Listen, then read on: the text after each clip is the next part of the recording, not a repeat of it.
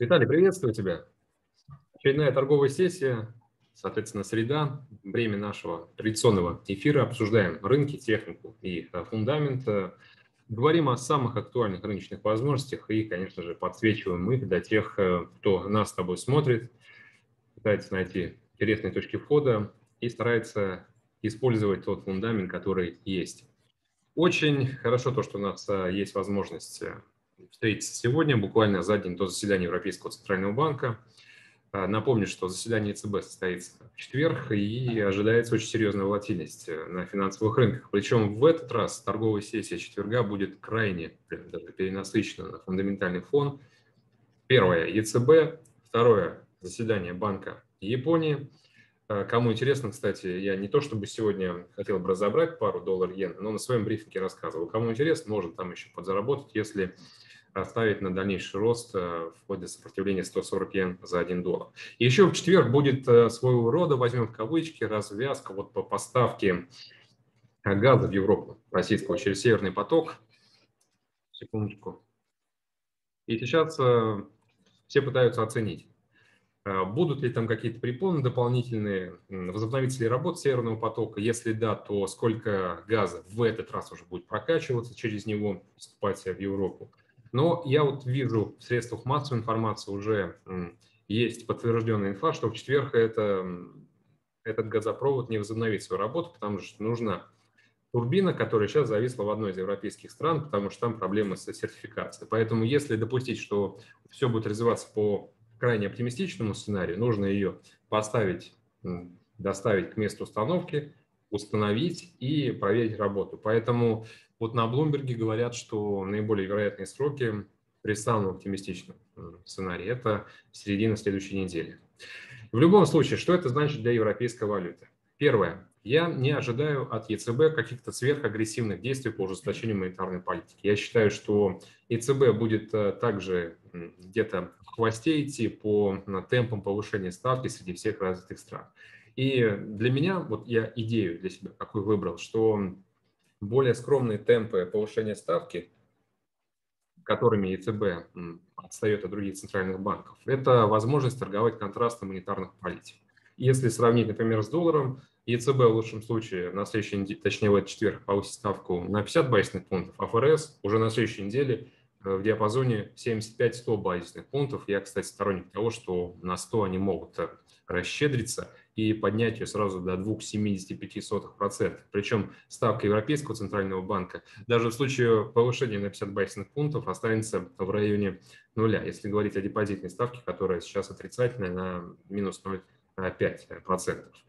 Я считаю, что вот этот рост евро, который... Давай к демонстрации перейдем. Угу. Который мы сейчас видим он больше связан с техническими факторами. Ну, очень, конечно же, мощный уровень был паритет, который все хотели, конечно же, сразу пробить, и что, что греха таить, я тоже допускал, что будет сразу там пролет ниже и так далее. Но рынок вот э, решил, что рановато еще идти ниже паритета, и дал такую мощную коррекцию почти на, на три фигуры. Сейчас котировки 1.0247. Какая идея? Я предлагаю дождаться заседании Европейского центрального банка, там 100% будет всплеск волатильности и может зацепить э, сопротивление 1.03. Поэтому в качестве сделки будет э, sell limit 1.03, стоп-лосс 1.0360 и ждем уже э, снова евро в районе паритета. Причины, почему евро будет снижаться, контраст монетарных политик – неизбежное дальнейшее укрепление курса доллара и усиление энергетического кризиса, который будет эм, влиять уже новыми красками по мере наступления осенне-зимнего сезона. А если окажется так, что будут какие-то дополнительные трудности с э, прокачкой газа через Северный поток после того, как он возобновит свою работу, то тогда, э, конечно же, э, усиливающийся на этом фоне энергетический кризис толкнет инфляцию в еврозоне выше 10%. Вот тут уже, конечно же, будет э, беда. Я сторонник того, что при текущей экономической конъюнктуре, при текущем новостном фоне евро не на чем, собственно, расти. Поэтому ставка здесь шорт.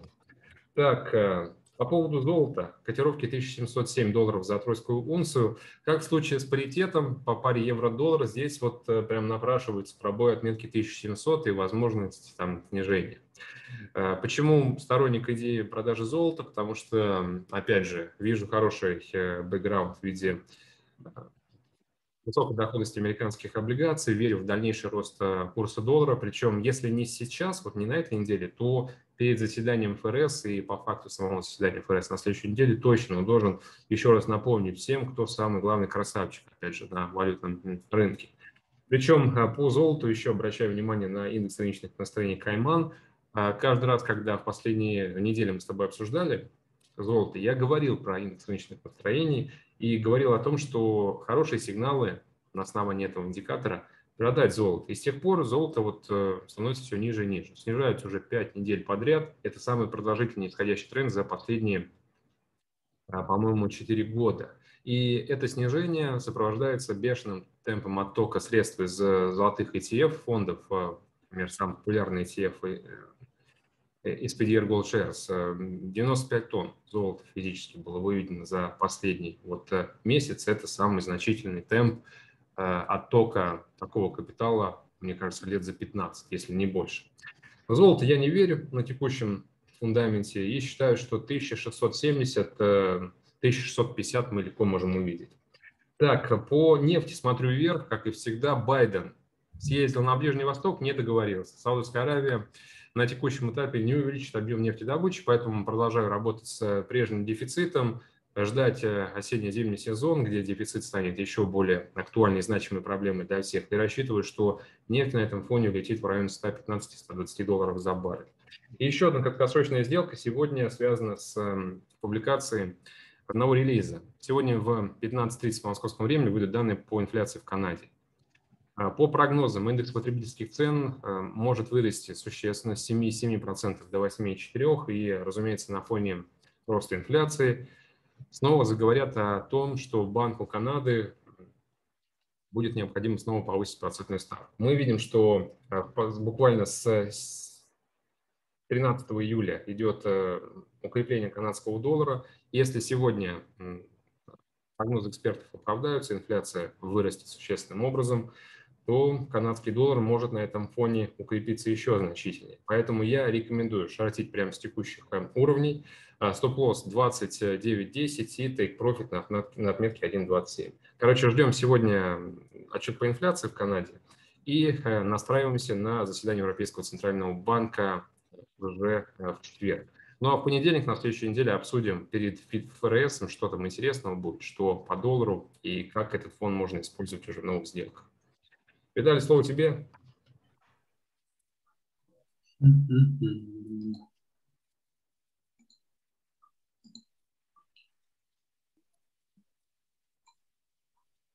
Так, видно рабочий экран? Грузится пока. Итак, всех приветствую. Что? Сейчас обсудим рынок. А, скажем, по рынку так, у меня такое мнение. Рынок, зря мы, ну, не получилось у тебя, когда-то у меня не получается. В понедельник пропустили хорошие, скажем, точки входа.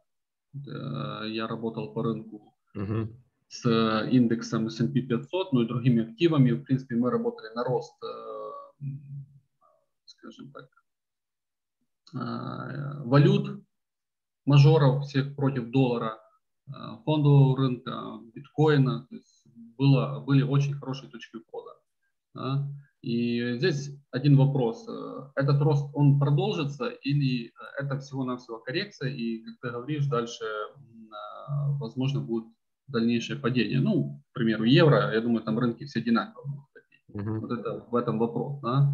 А, напомню еще, когда мы с тобой встречались э, там более недели назад, я по S&P 500 а, давал рекомендацию на шорт. Мы где-то вот торговались э, где-то в этом диапазоне. Здесь было э, две точки входа в шорт. То есть первая точка входа, вторая точка входа. В принципе, Э, мы локально через неделю отработали э, шорт, э, ожидалось ниже, да, но так как мы остановились на прошлой неделе возле такого локального уровня отката в районе 37-40.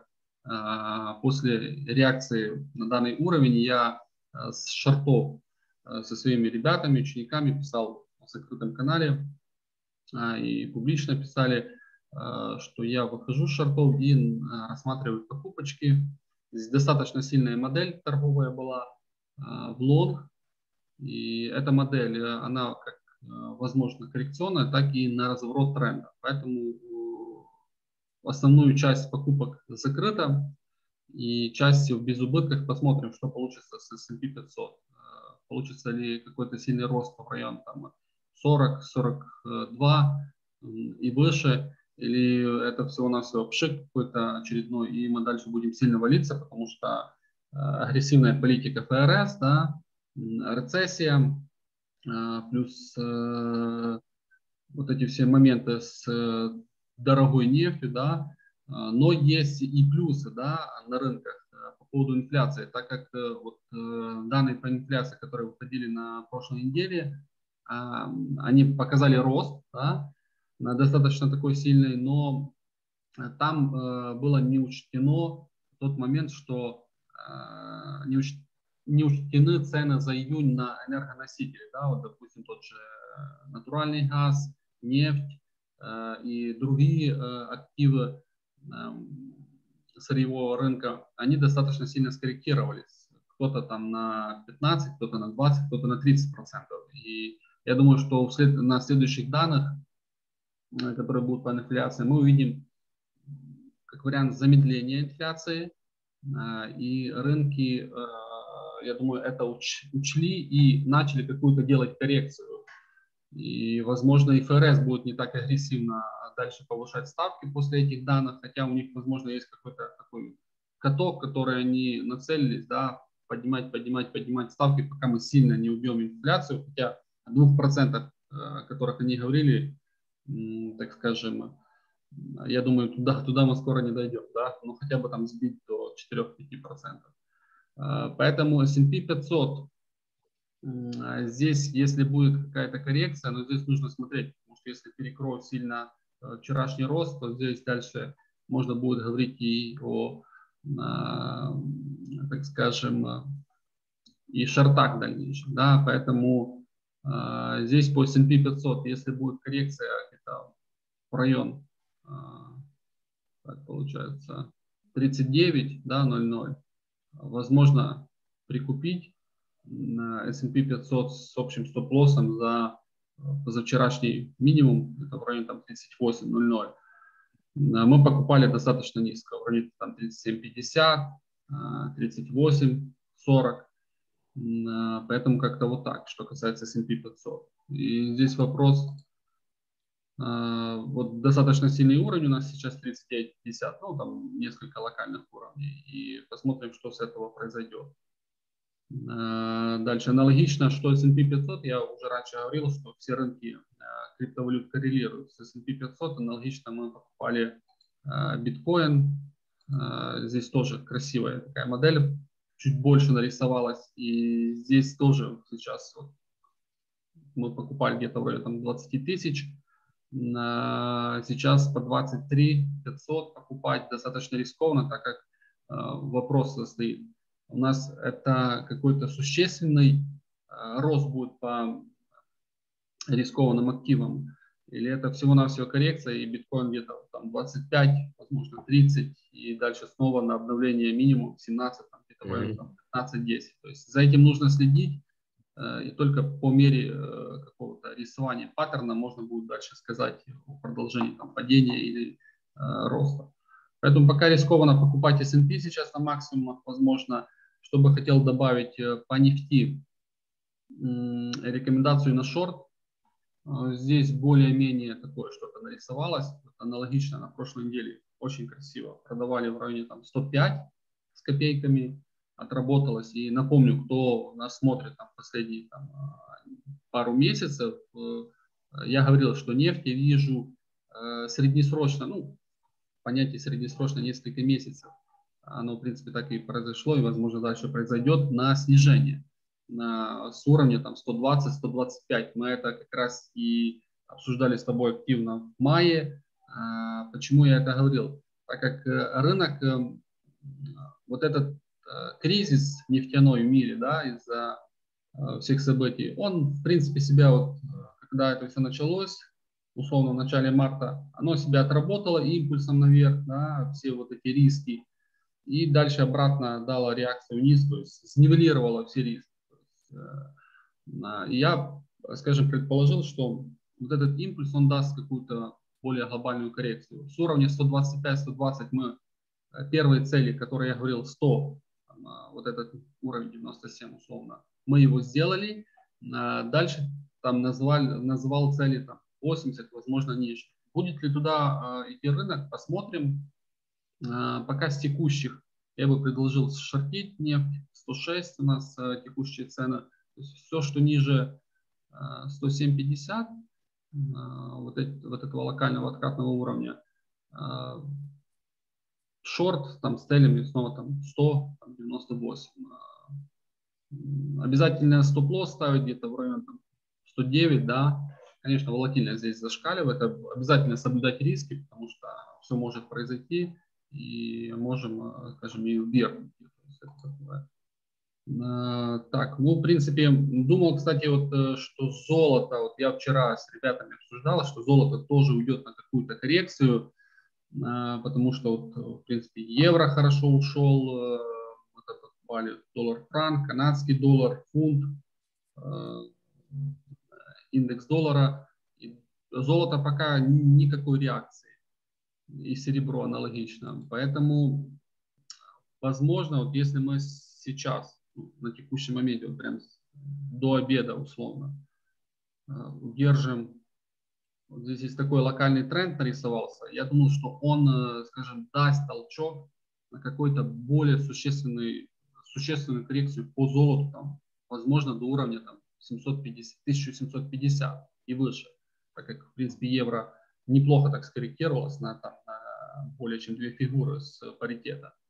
А, поэтому можно рискнуть вот с текущих 109 у нас сейчас, ну, желательно, чтобы сейчас вот этот часовичок у нас э, сейчас пол одиннадцатого, да, а если он закроется, так хорошо, на, 7, на 1712, э, если он закроется, то можно купить со стоп-лоссом 1700, да, и попытать удачу на какую-то более существенную коррекцию в районе там, 1750. Аналогично на серебро. Эм, вот то же самое я вчера писал, но пока вчера этого не произошло, и аналогично, кто торгует там серебром на 18 80 у нас цена, купить с текущих э, со стоп-лоссом 18, 18, там, 45 условно, да, возможно, тоже э, нарисуется какая-то коррекция вплоть до уровня там 19.50, э, ну и то, говорю, это контртренд, э, все почему-то отросло, берем евро-доллар, да, аналогично он примерно с золотом примерно ходит, да, и фунт-доллар неплохо отросли, а золото пока на месте.